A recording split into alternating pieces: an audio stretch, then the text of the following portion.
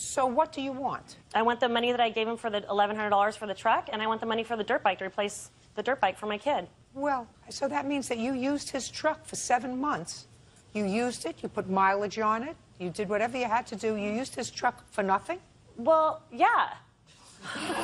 Well, I'm trying to understand, madam. You purchased something, you didn't finish paying for it, you used it for seven, eight months, and now you want the money back that you gave him, which was less than half of the amount of the truck. Mr. Beard, Yes, ma'am. let's hear it, sir. Um, well, and then first who is off, this, who is this person? uh, this is my girlfriend Danielle. Okay, because she's been dying to tell me something. I'm going to let her talk in a minute. She Go wasn't ahead. even here. She was living Go with some ahead. guy in Reno. Okay. Um, well, first off, her, her Just a second. way off. Do not interrupt. Give Why did you go and take the truck back, Okay. At that point in time, I'd found out that Rob was driving the truck, um, who unfortunately had three DUIs and should not have been driving. him. Yes, ma'am. Put your hand down. And which I do have a police report for. And on top of that, I hadn't received money. I had been trying to call her and get the money. A few times that she actually did call me back, um, it was she just didn't have it. She wasn't working. She was working a different job. Rob was trying to work to get the money, but he had to pay off for classes for his DUIs and just was not able to get the money.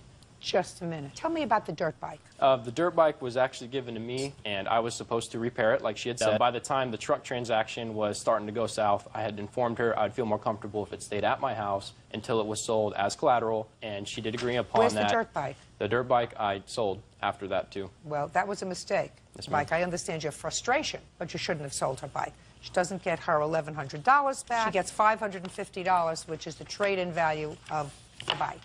And that's what you got for it. Okay. Right? ma'am. Good. Judgment for the plaintiff in the amount of 550. Thank you. Parties are excused. You may Oh, step out. excuse me.